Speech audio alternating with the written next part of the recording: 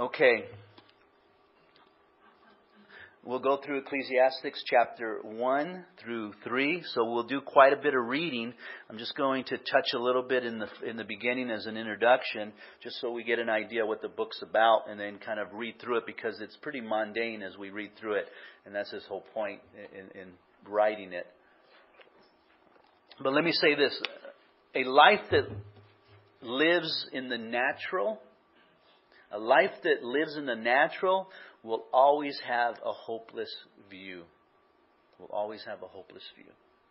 If you live in the natural plane, eventually the natural plane will bring you down. Your view of the world, your view of the, your own work, your view of life will always be hopeless because there is no hope in the natural. There is no hope in the flesh. There is no hope in ourselves we have no ability to do anything. Well, wait a minute though, but the world does. Are you sure? Well, there's rich people, aren't they? Yeah, but they're hopeless. It's only temporal. It's not going to last forever. You know, they may prosper right now, and who knows what happens in a year or two. They may lose it all. And even at that, if they keep it, they're going to stand before God, and guess what? It's pretty hopeless without God. And so in the natural, it always leads to a hopeless view. And, and that's important underlying view. Because how we view life, how we view situations is very important. We really need to get into the spiritual, and we'll talk about that. The book of Ecclesiastes contains proverbs, maxims, which are expressions of general truths, sayings, and is largely a autobiography story about Solomon and how he viewed life. Now understand as we get through through, through this book, you have to view from Solomon's eyes. He's at the end of his life, and the way that he's viewing life is, is really natural.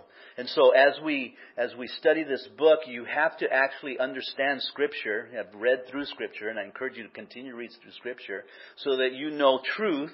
And when you read this book, you'll see where he errs in his thought uh, when he has an idea, whether it's philosophy, whether it's education, or, or whether it's his view on, on nature itself, you'll see that he's thinking on the natural plane, and that's why his thoughts are off. They're not correct. Uh, they don't make any sense scripturally and according to truth. And I love that about the Bible because that's one evidence for myself that I know the Bible is the Word of God is that it doesn't try to candy coat things, you know? If you were to, to write a book about yourself, you would probably tell all the good stories, right? You'd, you'd tell all the good things you did. You wouldn't talk about your problems. You wouldn't talk about your sins. You wouldn't talk about those things that make you look bad. You want to look good when you're writing a story. Well, in God's Word, it's interesting that He just tells history. He, he just reveals it the way it is. You know, you look at some of the kings and you go, wow. You, would think if, if man wrote this book, they would kind of cover uh, the heirs of the kings. In fact, when you do look at history, like the Egyptian history, and you look at the pharaohs of history, you don't find anything negative written about them. Do you know why? Because the king said, don't write anything negative about me. Only write my victories. Only write about my successes. Everything else you leave out of history. And that's the way they wanted to be perceived as. And God doesn't do that. He reveals who we are. That is sinners. You know, even the kings and the false. So the Word of God is, is really a history uh, of events and stories and prophetic words and truths, and he just tells it like it is. He doesn't hold anything back. And so as we go through this book, you'll find that to be true from Solomon's perspective. So it might be a little hard to pick out what is right and wrong. That's why it's so important to understand the rest of the scriptures so that you know what is right and wrong and what is truth. Solomon wrote this uh, late in his life, as I said earlier, probably around 935 BC before Christ. J. Vernon McGee said, as the book of Proverbs reveals Solomon's wisdom, the book of Ecclesiastic reveals his foolishness. You have the book of Proverbs, 31 chapters uh, full of wisdom, and then you have Ecclesiastics full of foolishness because of his perspective in this latter part of life.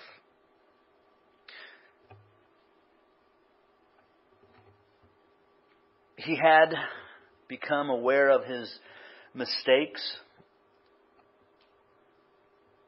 and he began to jot them down as questions. in the book of Ecclesiastics. This book is written by a natural man and not a spiritual man or from a spiritual perspective, but a natural man trying to find the meaning of life. The purpose of Ecclesiastics is to spare future generations the suffering and misery of seeking after foolish things, meaningless things, materialistic emptiness, and, and offer wisdom by discovering the truth in seeking God and His Word. For us, that is the lesson, is to learn from Solomon's mistakes, and we'll see them as we go through them, and you're going to go, wow, because that's how I think, and I need to get rid of that. I need to toss it aside. And so it's a challenge today for all of us to say, I need to change. And there's some areas that I have to change and I should change. You know, the older that I get, the more that I realize that are just things that doesn't matter. They just doesn't doesn't matter anymore. Not, they don't matter to me as much as when I was younger. I wish I had that wisdom when I was younger that I do now. But I don't, and I've learned and I've changed in those times. And there's a time to change. And now's the time for us to look at our lives and to change some things about our lives. It's okay to ask that because change is always happening. We're always changing. We're always growing. Those of you that are young, you're going to get old. Those of us that are old, we're going to be put in the ground. And the cycle will continue to go on. And so it's important that we change as that cycle goes on. Uh, Solomon's purpose is to, is it appears that Solomon once again wants to teach again his readers wisdom, as he says in chapter 1, verse 13, I set my mind to seek and explore by wisdom concerning all that has been done under heaven. I mean, he literally looks at every aspect of life in this book, from every perspective. Being the billionaire that he was, he had all the resources to spend Uh, on whatever it is that he needed to do research on. And that was even on pleasure itself. And he did a lot of research in order to find wisdom. Let me break up these chapters for you just to give you an idea of what we'll be going through. Chapters 1 and 2 deal with Solomon's personal experience throughout life. So he's going to share from his own experiences and what he has learned. Uh, it's interesting because Solomon literally tests his ideas to see if they'll work or if they'll fail. And I find that interesting because I have done that. I have, I have done tests to see if God is faithful or to see if God um, isn't faithful. I have done tests to see if His Word works or if, if His Word doesn't work. I'm not going to tell you where the tests are at because you're going to say, wait a minute, are you testing us? No, it's not you. But I have literally done things uh, specifically to see what happens, you know, because I want to know. And that's probably foolishness on my part, you know. And yet I've done things the right way according to the scriptures to see what happens. You know, and I found that God's ways always works out the best. It really does. And when we think we have the way, if we think that we can do it without God, and we can try it just to see what happens, well, is God's grace there? I mean, how far can I go to that line? Can I just jump a foot over and will God have grace at that point? You know, I don't know if you've ever thought like that or even done that, but I have. And I found that, that that is a harder way to go than by just following the Word of God. He describes everything that he sought with selfish pleasure and eventually realized that it was nothing and emptiness. In chapters 3 through 5, Solomon gives a common explanation and observation. One in particular is in chapter 5, verse 15, as he comes uh, naked from his mother's womb, so he will return. Speaking of anyone who dies takes nothing with him. And, and that makes sense, at least to us, and that's true. As, as Job said, you know, naked we came into the world, naked we shall return to the dust. So. So there are truths in this, in this book too that we need to bring out and understand, and some profound ones too, and we'll see one tonight. Chapters 6 through 8, Solomon gives advice for having a meaningful life. Uh, 7.13, consider the work of God, for who is able to straighten what he has bent. Only God can do that, right? We have been so crooked and bent, have we, in life? And it was God who straightened us out no one else. Boy, my life was so crooked. I was going in every direction uh, that I could think of that would bring me pleasure. that would bring me happiness. Whether it was alcohol, whether it was women, whether it was drugs, you know, whether it was control, all of those things that brought me pleasure. And yet God, having grace and having so much love, decided to interrupt my life and say, I'm going to take what is so bent out of whack and I'm going to straighten it out. And boy, he, he knows how to do that if we're willing to humble ourselves before Him. And then chapters 9 through 12 to end the book, Solomon writes a conclusion that clears up the entire book. And everyone eventually dies, and all the deeds of man are vanity unless without God, or useless without God. Without God, life is useless, and so we need God in our life. Have you ever asked yourself, why am I going through the things that I'm going through? Why is it that I struggle so much? Why do I get depressed? Why is it that I seem to be hopeless? Why do I feel like everything is mundane? Like it's just day after day, same thing, over and over and over and over. If you feel that way, this word is for you. And so let's look at chapter 1 as he describes vanity of vanities. Verse 1 the words of the preacher, the son of David, king of Jerusalem. Now, the word preacher there in the Hebrew is probably not a great interpretation of the Hebrew word. A better word that would probably be used here would be debater. He was more of a debater and not a preacher.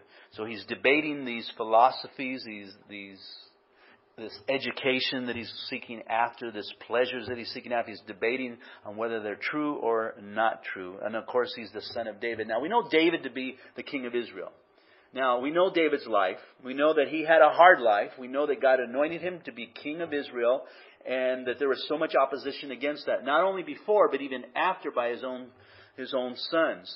We know Solomon came from Bathsheba, who was the, the second child uh, of Bathsheba. And Solomon literally grew up as the son of David, watching everything that happened to David. Now keep that in mind. I mean, he saw his father go through all those things. He saw his father make bad decisions. He saw his father uh, being attacked by his brothers. He saw his father running. He saw his father's life in danger. He saw his father at end of life. He saw his father's desire in his heart for the kingdom of God, to build the temple. I mean, Solomon saw all this. And I really believe that Solomon wanted to please his father and fulfill his father's dream. And that's why Solomon ended up building the temple himself. Of course, God didn't allow David to. Why? Because he was a man of bloody hands, right? And so Solomon saw his father uh, make all of these mistakes, and yet he put his father up on that pedestal and wanting to fulfill uh, his dreams to build that temple that God had uh, laid on his heart. And so I believe that Solomon, when he began his reign, he began it asking God, I need wisdom to run your people because my father tried to run your people and it didn't turn out very well. Now he saw everything that took place. And so, Lord, if anything let me ask you for wisdom. And God, you know, um, appreciated that type of prayer. And so he gave him all the wisdom in the world. Now you would think that having all that wisdom that he had, that he would make some good sound judgments, but at the end of his life, again, he was just a man and he didn't make uh, very good judgments. He multiplied uh, his wealth, gold, silver, uh, he multiplied his horses. He multiplied his concubines. I mean, concubine after concubine. He, he dove into pleasures of all kinds and sorts and so forth just to figure out the meaning of life. He had so much wisdom, so much understanding that he wanted to understand even that, you know, and so he was confused at the end of his life, which is kind of sad because it gave him the wrong perspective because he was the thinking on the natural plane and not the spiritual plane.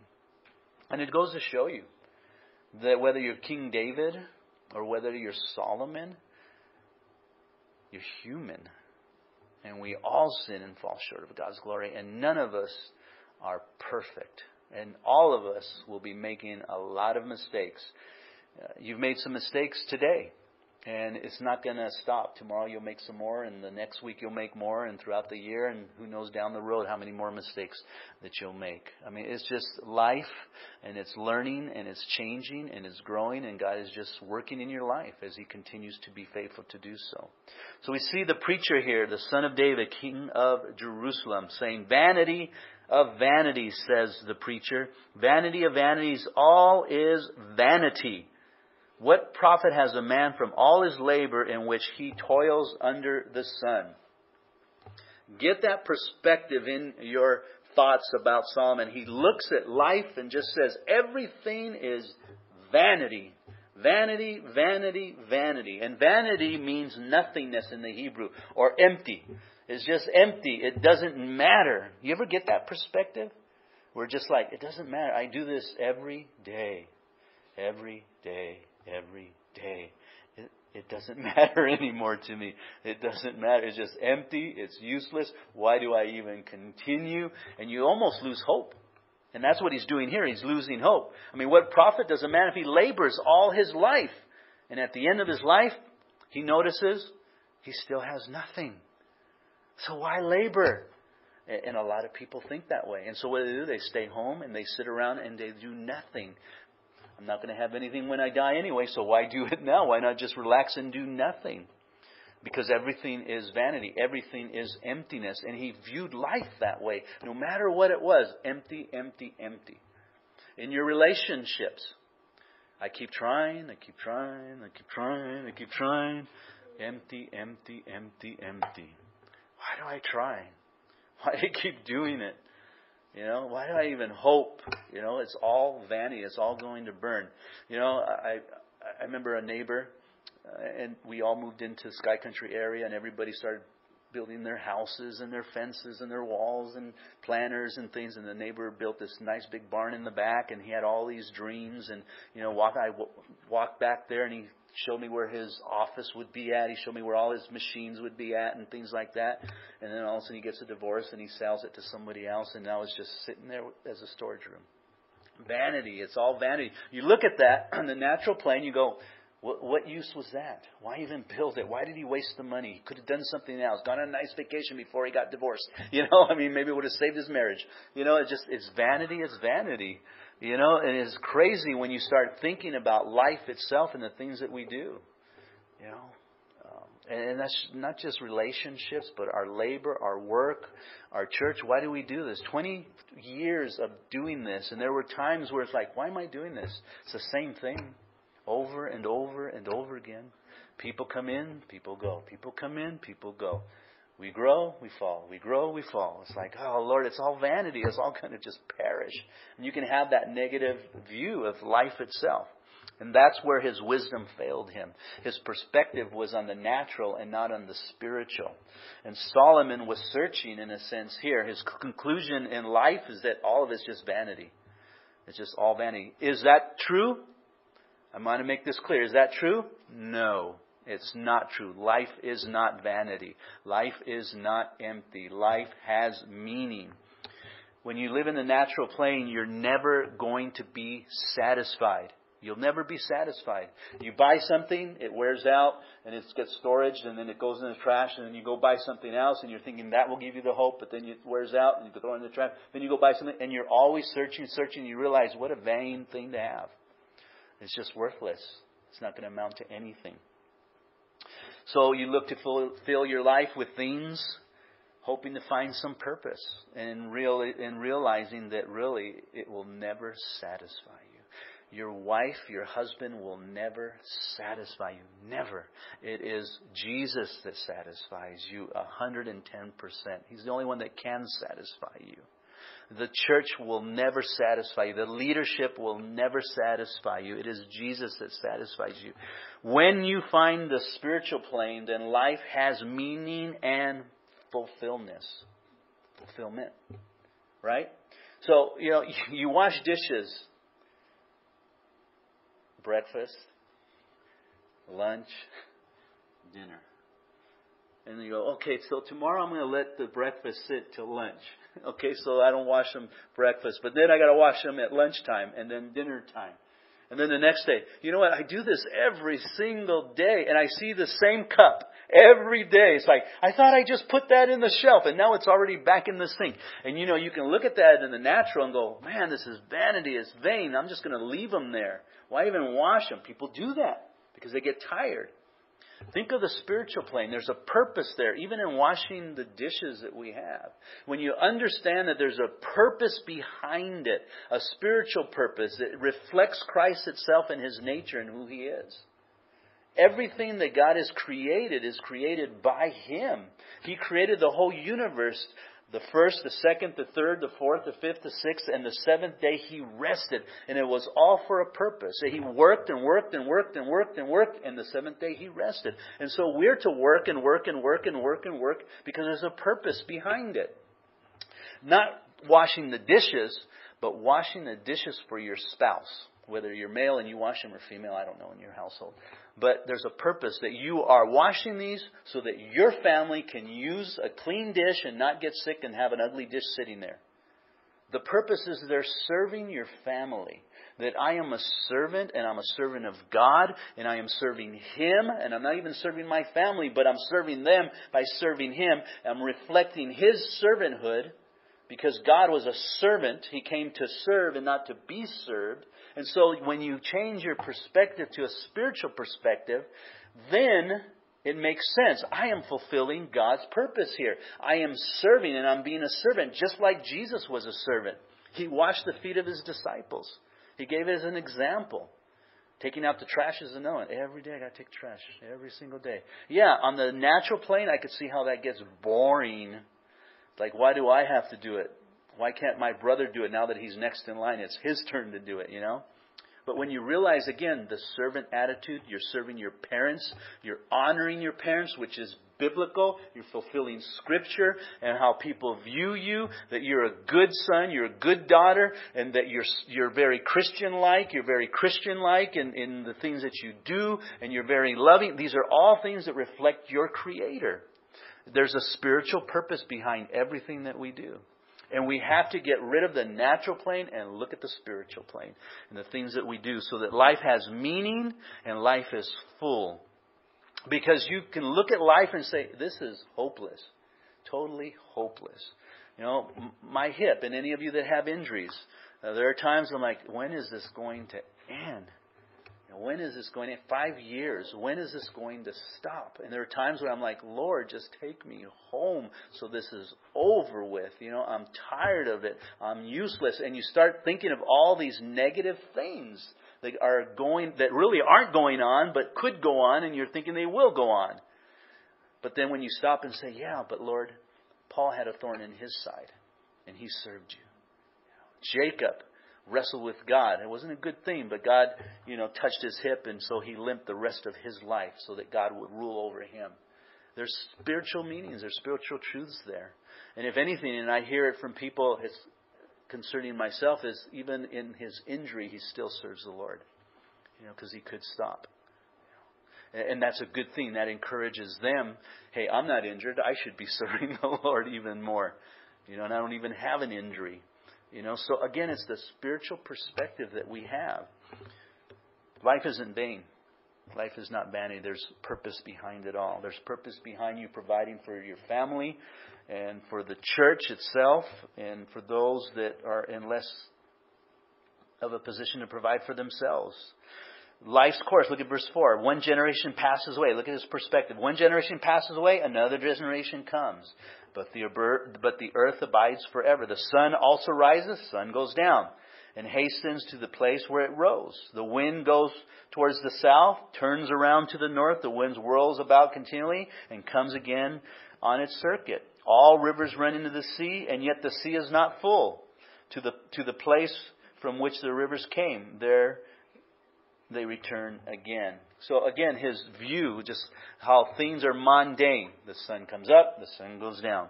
Back to where it went. The winds come here, they turn around, they go back over there. And every day it's the same thing. You know, but you don't realize, you know, that it's important that the sun comes up, isn't it? We would die if the sun didn't come up on a regular basis. And we would probably be pretty pretty uh, bad off if the wind didn't turn and create the oxygen and circulate the atmosphere that's in the earth ozones and things like that, and bringing rain and all those other things that help us to grow food and stuff like that. We don't realize that. And the waters that flow down into the ocean and things like that and evaporate. And that's why the ocean doesn't get full because it eventually a lot of it evaporates. And so again, his, his view. All things are full of labor. Man cannot express it. The eye is not satisfied with seeing, nor the ear filled with hearing. Isn't that true? The eye can never see enough. Boy. From a man's perspective, it's like the eye can never see enough. The eye is always wandering. That's why Job just said, I made a covenant with my eye not to even look upon a woman. You know, because the eye is never satisfied. Not, not just lusting, but lusting for even material things, lusting for wealth, lusting for things, you know. The eye is never satisfied. Isn't that interesting? You can never satisfy the eye. And that, that's a certain truth there, and he saw that. It's hard to satisfy the eye. Try satisfying it.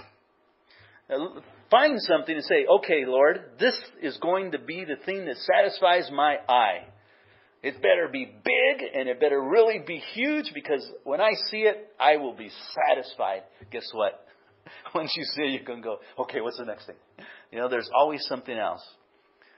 We used to we used to look at boats because the boys at one time were like, let's get a boat. We can go out into the ocean and go fishing. It's like, and you start looking at small boats, and then you look at bigger boats, and like, wow, okay, that's a nice boat. Then you look at even bigger boats. Oh, that's even better boat. Then you look at even bigger boat. We can live on this boat, you know. And it's like your eye is never satisfied. You just want more and more and more. Hours are spent in front of the television. You know, you have to watch the series. You know, this whole craze on vampires and, and these things is like it's crazy uh, how people are so not satisfied. They see it and like, I got to get next week's episode, you know, because they're not satisfied with what they saw. They can't just leave it alone, you know. They just want more and more and more. The music that we have, the same thing with music. I don't, I don't get that. I'm not a musical person. I mean, I've never been. Even growing up, all my friends were in all the punk and Metallica and all that. I never liked music. I like listening to it once in a while. I hear it on the radio, but it wasn't something that I bought all my you know, LPs. Remember the LPs and the little little records and eight tracks. You know, some of you that might remember the eight tracks. I didn't buy. I've never bought one record. I wasn't into music, but for some reason, people are into music, and they've got to have all the latest and greatest, and they're never satisfied. They've got to have it all. There's always something new to see or something new to hear, but it's never enough. He saw. That which has been is what will be. That which is done is what will be done, and there is nothing new under the sun. Nothing new under the sun. Is that true? Yes. There's nothing new under the sun. It's interesting how I will read a scripture, and, and as I'm reading, I'm like, oh, I see this. It's like, oh, Lord, this is great how I can see this truth. And I start writing it down, and so then I write it down, and then I go back and I, I read McGee's commentaries and some other commentaries, like, oh, right, none of them got this. Wow, this is neat. This is like, you really spoke to me. Then I go a little further back and go to the 1800s, and Spurgeon and one of these guys, you know, one of the uh, Wesleyan brothers, and all of a sudden one of them sees the same thing. I'm like, ah, I thought I saw it. You know, it's like they saw it too. You know, nothing's new under the sun. It, it, it, nothing has been invented that has not been invented already or thought of in any sense. Can you even think of something that's not been invented? You know, in some way or form. You really can't. that's why it's evidence that God exists, because if God didn't exist, we wouldn't be thinking of a God. Right? Think of the thing that does not exist. You can't think of it because it doesn't exist. So everything you think of exists. It's there. And since God is in our minds in one form or another, there has to be a God because He exists. So, even though people search for new things, new sights, new sounds, new realities, all, of this stuff, it's nothing new. Nothing new at all. It's just amazing. In the 25 years of knowing the Lord, I've seen the, the Word of God cycled. Just cycled through the teachers, you know, in different aspects, whether it's prosperity or health, you know. They do that, recycle. There's nothing of which it may be said, see, this is new. It has already been in ancient times before us, he said.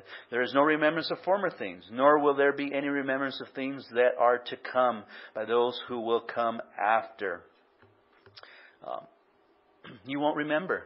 What happened 10 years ago? Do you remember what happened 10 years ago? I don't remember.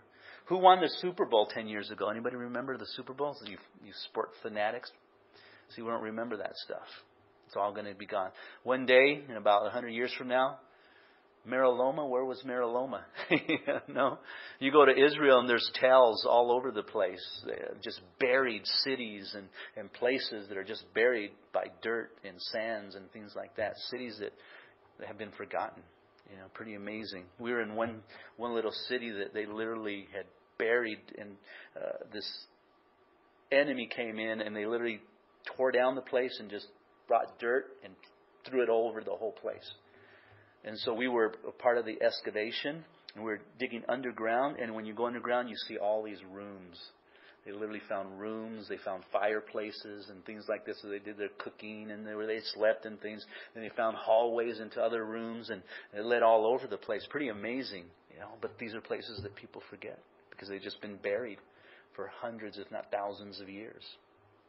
So then he went into philosophy. As he looked at philosophy, I, the preacher, was king over Israel and Jerusalem. I set my heart to seek and search out by wisdom concerning all that is done under heaven. This burdensome task God has given to the sons of man, by which they may be exercised. I agree, God has given us that task, but to seek out His wisdom, right? To seek out His truth and seek it out according to His word. And Solomon took that and he sought out what wisdom was. And so he's looking at philosophy here his attempt to reality. I have seen all the works that are done under the sun. Can you imagine that? Seen all the works that is done under the sun. This guy had so much money that he was able to look at every person's job in his kingdom and examine it and study it. You might have been a writer, and so he took time and he watched that guy. How does he write? When does he write? Where did he get his inspiration? What does he write on? What does he use? You know, he just all of that. You know, just studied everything. All is vanity and grasping for wind. What is crooked cannot be made straight, and what is lacking cannot be numbered. So again, he looked at life itself. And, and like Camus Albert, who was a French novelist in 1957, he said, Life is a big joke. life is a big joke. Yeah, on the natural plane, life is a big joke. It really is when you when you look at life itself. But on the spiritual plane, there's a purpose behind it. And that's why it's so important that we have a heart for the lost. That's one purpose that we need to have in our hearts. People get saved. They need to come to know Jesus Christ as Lord and Savior. And that is the purpose. So everything everything revolves around that. Your life should revolve around that purpose. You know, worshiping God, obviously, but the purpose of that is to reflect Christ so that people see that and they want to know Christ too. That's the purpose. See how important it is that we live for Christ? Because people are watching us and they're reading us. Life isn't a big joke. God created us. You were fearfully and wonderfully made, every single one of you. God had a specific task for you to fulfill. Are you fulfilling that task? Solomon's philosophy here was, was actually empty in itself. I, command, I communed with my heart, saying, Look, I have attained greatness and have gained more wisdom than all who were before me in Jerusalem. My heart has understood great wisdom and knowledge. I set my heart to know wisdom and to know madness and folly. I mean, he literally went out of his way to know madness and folly. That's how much he wanted to know wisdom. This, this word, uh, I communed with my heart, basically in the Hebrew is talking about earthly wisdom. I wanted to understand earthly wisdom. I wonder, wanted to understand why people are the way that they are. As we have psychology today, psychiatrists, you know, and they study human behavior. Why do people do that? Why do they people act this way? Why is it when they grow up in this type of society that they end up this way and so forth, you know? And that's what Solomon, he was looking at human behavior. And he realized that all of it was just grasping for wind. For in much wisdom is much grief, and he who increases knowledge increases sorrow. Boy, uh, the Lord gave me that scripture years ago, back in 1996. um, I had it in my Bible. I was looking at my Bible, and there was a scripture that was given to uh, to me concerning this, um, concerning the church here, that in much wisdom is is much grief, and he who increases knowledge increases sorrow. You know, and it was given at the time, and it was in the sense that as I grow and as the church grows in wisdom and knowledge, and it, as it increases, it increases in sorrow too. So kind of like prepare your heart because sorrow's coming along with it. And that's life. Uh, there are going to be ups, but in those ups, the enemy is ready to attack, and there will be downs too in life. And there's a purpose behind all that. Okay, let's look at chapter chapter two. We will get through this if we're here all night. no, I'm kidding. The study of pleasure. So he goes on and again, he abandons the study on philosophy and on education. He realized that all of it was vanity. I mean, why know everything in the world when you're going to die anyway and it doesn't mean anything? It doesn't really going to help you much at the end of life. I said in my heart, Come now, I test you with myrrh, therefore enjoy pleasure. But surely this also was vanity. I said, Of laughter, madness, and of myrrh, what does it accomplish? I search in my heart how to gratify my flesh with wine, while guiding my heart with wisdom, and how to lay hold of folly, till I might see what was good for the sons of men to do under heaven all the days of their life. In Proverbs chapter 31, he talks about how his mother said, Stay away from wine. And here at the end of his life, he's testing wine. He's testing to see what does it really do, and is there any joy? Is there any meaning in it at all? Uh, what joy can you? It's meaningless. It's useless. It's stupidity. I think anybody that drinks, and, and this is just my opinion right now, and I might be offending you, but I think I think that you're off. You're not getting it. Why are you drinking if you're calling yourself a Christian? Anybody that's a Christian should not be drinking. Well, the Bible doesn't say that you shouldn't drink. No, it doesn't say you should drink. Know, Jesus made wine. Yeah, he did make wine. But let's rise above that. And what is said there, Jesus did not say to drink. He said to be a light and to be salt. He said not to stumble people. And when people drink, it's amazing what you will put on Facebook. You guys, not you guys, but there's people that are believers and they're older believers and they're putting on Facebook with their little drinks of, of bourbon and whatever. And I'm like, what are you doing? Why are you doing that? How many people are you stumbling right now because you're, you're letting people know, hey, it's my birthday, you know, and I can have a drink on rocks. You know, it's like, come on, really? I, I think that's selfishness. And, and I think you're misleading people and causing people to stumble. If you want a drink, then do it in your closet and let nobody know and have a drink. To put, to put yourself to bed or whatever. But there's no other purpose for it at all. It is vanity to drink. There's no meaning, no purpose. It's not good for you. There's no health. There's no health benefit from it whatsoever. You know, except maybe that it puts you to sleep. You know, as it did for Timothy. Of course, they said that was kind of diluted. You know, because of his illness. But drinking has no health purpose whatsoever. What's the purpose? Well, it makes me feel better. Really? So you need to feel better by a drinking? How about the Lord make you feel better? Yeah, but it makes me happy. Really? Where's your joy in the Lord? That should make you happy. Why do you need a substance? Paul even said, be filled with the Spirit and not be drunk with wine or ex- excess of these things. And here Solomon said, I tried wine and I realized it's meaningless. Well, me, I've tried beer. I've tried alcohol. I've tried every alcohol you can think of. I've tried moonshine. My my uh, my dad was an alcoholic, and we used to go to some friends, and they had moonshine. You're talking 200 percent, 200 proof. That means 100 percent alcohol. You, you take a little shot of this, and you're going because you can't breathe as you're swallowing it because there's so much alcohol in it that it's, it's suffocating you, and you got to swallow it to finally breathe. And, and almost instantly, you got a buzz because of this moonshine. Strong stuff. And there was my dad one after another. And after I had one or two, he said, That's it for you, son. You can't handle your stuff. So let the men be men. I'm like, now I look back and go, Really, Dad? that's not a man. That's stupidity. It's vanity. It's useless. There's no, that's emptiness. I'm getting harsh on that, am I? That's because I don't see any good in it at all. You know, and I think that we need to see that. He goes on and says, I made my works chapter or verse 4. I made my works great. I built myself houses and planted myself vineyards. I made myself gardens, orchards. I planted all kinds of fruit trees in them. I made myself water pools from which to water the the growing trees of the groves. He got into agricultural. He built his house. He, he built his land. He built trees. He started testing plants and seeing if that brought pleasure in various things. That one just relates to me so much because I love planting. I love my grass. I love clean. I love this church how it looks just so clean and everything is so nice and all the straight lines. You know, and I like my house. And now that I can't do as much, you know, I it, it really bugs me because I can't get out there and cut my grass. I can't fertilize my grass. I can't pull weeds. I can't rake up all the stuff in the back because I would literally rake up all the dead leaves in the back where the trees are. There would be no fruit on the ground. There's fruit all over the place, leaves all over the place, dog poop all over the place. Pigs already eating up all the grass. And I'm just saying this because there's animals now in the house and animals destroy things.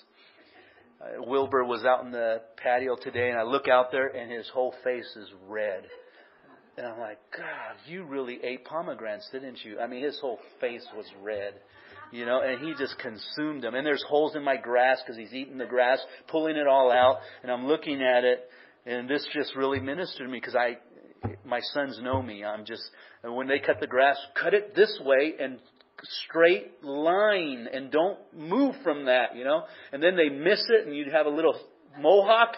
like, see the mohawk? You you got to bring that wheel on this side by two inches to get make sure you you know I'm just that way with it. Some of you probably see that here at church. That's bad. It's vanity, and I realize you know seeing all now be destroyed. I'm like, it doesn't matter anymore. I don't care. Whatever. You know, I, I'm learning. I'm learning. Solomon realized that even in all of that, it's vanity. I, inquired, I acquired male and female servants. I had servants born in my house. Uh, if you can only imagine, you know, they estimated like 10,000 animals just to feed the servants. Yes, I had greater possessions of herds, flocks than all who were in Jerusalem before me. I also gathered for myself silver, gold, and the special treasures of kings and of the province. I inquired male and female singers, the delights of the sons of men, the mus- musical instruments of all kinds. So I became great and excellent and excelled more than all who were before me in Jerusalem. Also my wisdom remained with me. He sought it all. Whatever my eyes desired, I did not keep from them. I did not withhold my heart from any pleasure, for my heart rejoiced in all my labor, and this was my reward from all my labor. I mean, he poured everything into his flesh. This is he's talking about pleasure here. So every form of pleasure that you can imagine, he sought after. And then I looked at all the works of my hand, which my hands had done, and on the labor in which I had toiled, and indeed all was vanity and grasping for wind. Uh, there was no profit under the sun. Under the sun. Then I turned myself to consider wisdom and madness and folly. For what can a man do who succeeds the king? Only what he has already done. Then I saw the wisdom excel folly as light exceeds darkness. The wise man's eyes are in his head, but the fool walks in darkness. Yet I myself perceive that the same event happens to them all. So I said in my heart, As it happens to the fool, it happens to me. And why was I then more wise? Then I said in my heart, This also is vanity. He realized even having all the money in the world, even having all the wisdom in the world, didn't keep from natural things happening to him. That even though there was a fool and a weak person, a small person, a poor person, life happens to take its toll on him, also took its toll on him too. Doesn't change anything. Having riches not going to make you happier. It's vanity. For there is no remembrance of the wise than of the fool forever, since all that now is and will be forgotten in the days to come. And how does a wise man die? As a fool. Just as the fool dies. Therefore I hated life because the work uh, that was under was done under the sun was distressing to me, for all is vanity and grasping for the win. He hated life because of the work. You can hate life because of the work. You know, uh, when I worked for Southern California Edison, we're going to go over a little bit. I'm sorry. Um, I, I would listen to all the guys complain. Uh, they were complaining about the money they made. They were complaining about the jobs they do. They complain about the boss they had. They always would complain about those things. Then they go home and they complain to their wives, you know, and they talk together, go out and have a drink together, complain about everything. And um, I would get involved in a lot of things as far as union and so forth because I was a union steward and things like that. And somebody had asked me, they, they said, How do you deal with it at home? I go, At Home? I don't even bring it home. I said, This job brings me a paycheck so I could serve the Lord. That's the only reason I'm here. My perspective was God had given me this job to provide for me so I could serve Him. And that is all that I look at this job as. Everything else in it is vanity. It doesn't matter. I don't care what's going on. I don't care what people are doing. I don't care about these, you know, even though I tried to help people and be fair and so forth, but yet it didn't matter and I didn't take it home because I was too busy serving the Lord. And that's the perspective we have. Some people look at work and they're like complaining all the time. Thank God you have a job. Because a lot of people don't have jobs today, you know. But you can have that perspective. It's grasping for wind, as he said. Verse 18, Then I hated my, all my labor, in which I toiled under the sun, because I, because I must leave it to the man who will come after me. Isn't that true, though? That's true. Think about that. I, I build my poor house, you know, and then I'm going to leave it to someone else. If we outgrow this church, we're going to leave it to someone else. How are they going to treat it? You know, it's like giving your dog to someone oh, make sure it's going to a good home because I don't want my dog to be mistreated, you know, but you leave it to someone else. Verse 19, and, and who knows whether he will be wise or a fool, yet he will rule over all your labor in which I toil and in which I have shown myself wiser under the sun. This also is vanity. And we know his, his son Jeroboam, who did a lousy job after he took over, divided the kingdom in half. So he was right on that. Therefore I turned my heart and despised of all the labor in which I toil under the sun, for there is a man whose labor is with wisdom, knowledge, and skill, yet he must leave his heritage to a man who has not labored for it. This also is vanity and a great evil. And again, you have to look at it as I'm leaving it for someone else, so it's a testimony. When we when we left our house in, in Redlands, we rented from this this couple of guys that owned it, we left it better, in better shape than we got it. I mean, we had painted it, we had fixed all the sprinklers, we planted things, we changed linoleum in the kitchen, and just, you know, with their permission and stuff, we left it better. So much so that it was such a witness to them that they actually not only gave us back our last deposit, but even another deposit in a sense. In other words, what happened was I said, since we're leaving, just just let us not pay our rent and just keep and then keep our deposit as that rent. And they said, no problem. So when the month was over, they didn't owe us anything. Well, then they paid us a deposit. And I said, what's that for? Your deposit. I go, no, no. Remember we didn't pay you that month rent? No, no, no. Take it. Because they were so appreciative that we left it in better shape than what we got it. And that's how we should be as believers. There's purpose that because it's a witness to those around us. It's all about being a witness. That's the purpose of getting the gospel out. For what has man for all his labor and for all the striving of his heart, with which he has toiled under the sun? For all his days are sorrowful, and his work burdensome. Even in the night his heart takes no rest.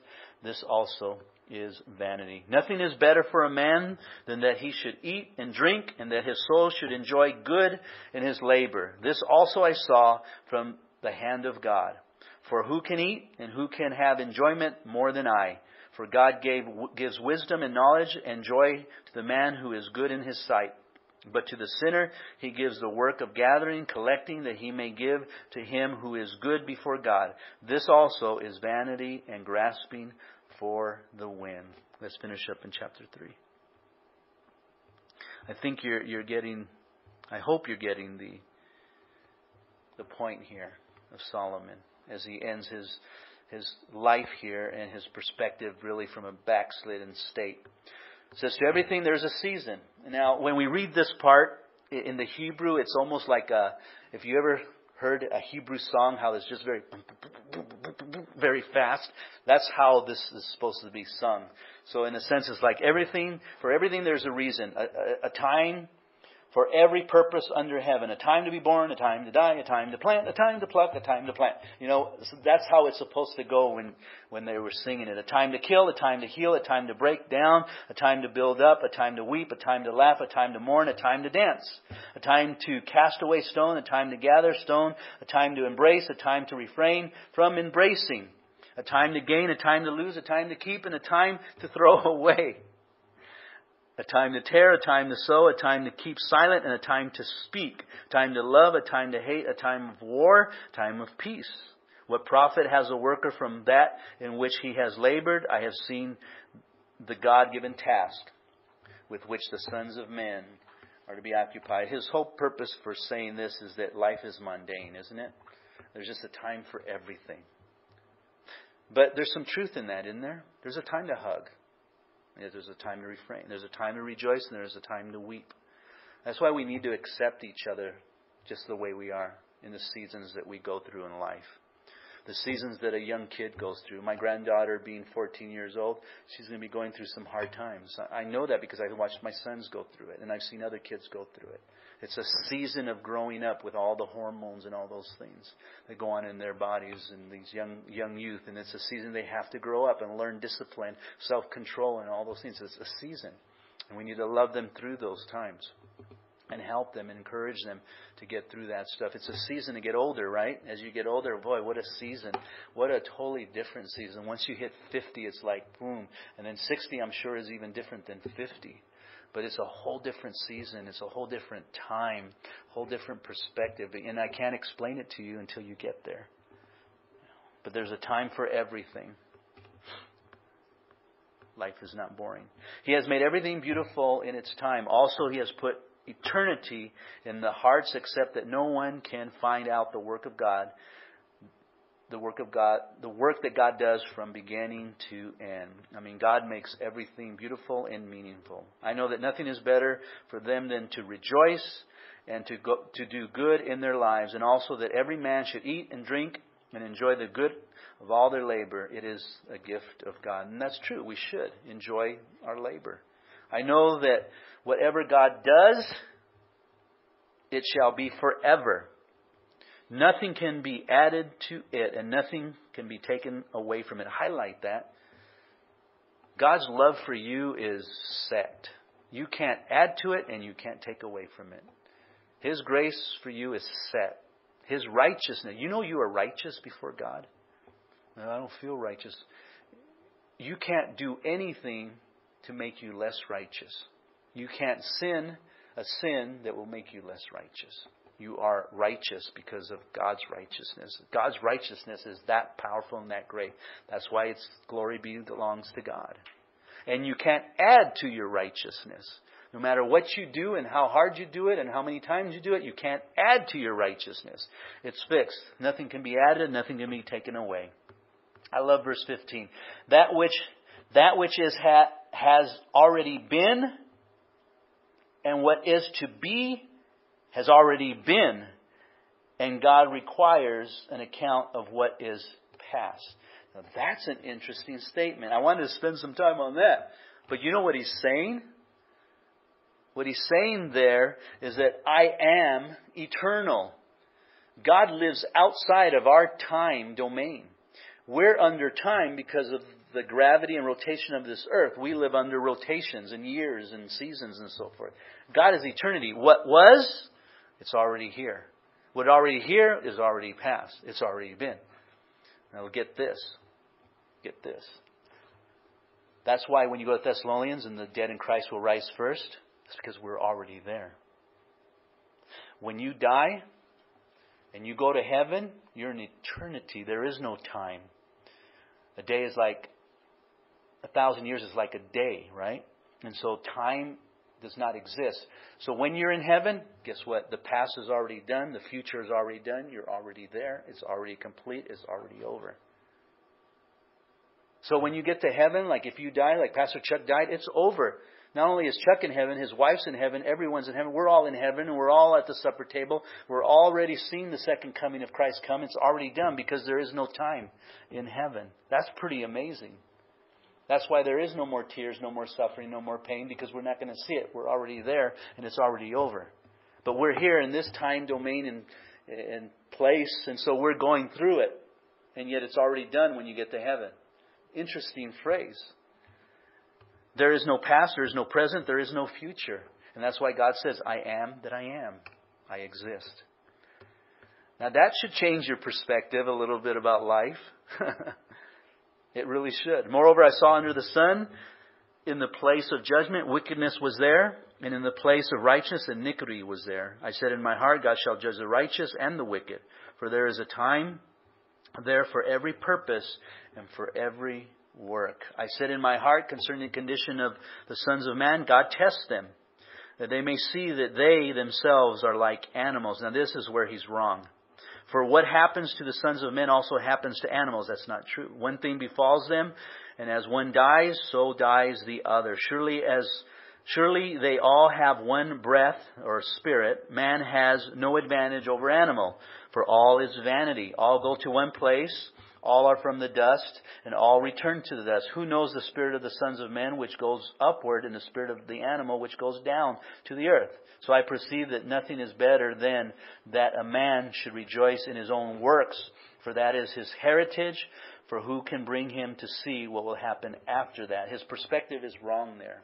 And he's viewing it from the earthly plane. We're just like animals. We die, we go to dust, and that's it. So enjoy your work. Have fun while you're at it because that's it. It's all vanity and so forth. Not a good perspective to have because we know after life is presence with the Lord, right? Absent from the body is present with the Lord. And so here, here's my point, and let me just summarize this as we close tonight. If you want to continue to have a natural perspective, then you're gonna you're gonna struggle with the trials and testings in life. They're going to seem mundane, they're going to seem difficult, and you're going to lose hope, and eventually you'll be put up on a shelf. You don't want that. You want to see the spiritual things and how God works. Look through His lenses. Look how He sees and what He's doing and the purpose that He has. Nothing has happened that He did not know about.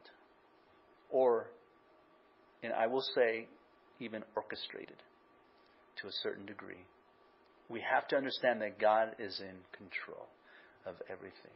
And He moves us around as He sees fit, where it will benefit the body of Christ for His glory.